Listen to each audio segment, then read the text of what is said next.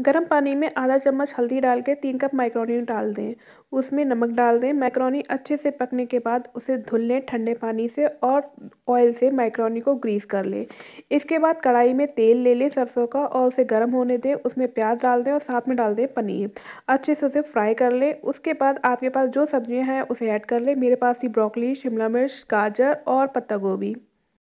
सभी सब्जियों को दो मिनट के लिए फ्राई कर लेंगे। हल्का सा कच्चापन जाए।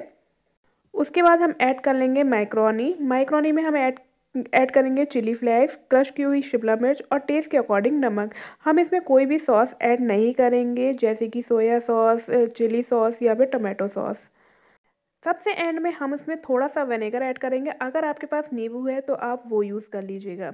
अब इसमें धनिया डाल देंगे और तैयार कर लेंगे प्लेट की माइक्रोनी खाने के लिए। वीडियो अच्छी लगी हो तो please subscribe my channel and like my video share कीजिएगा इसे।